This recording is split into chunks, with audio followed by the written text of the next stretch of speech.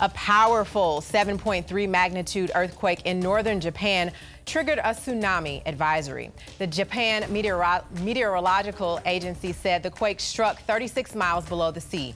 This area was devastated by a deadly quake and tsunami in 2011. So far, there are no reports of any deaths or damage.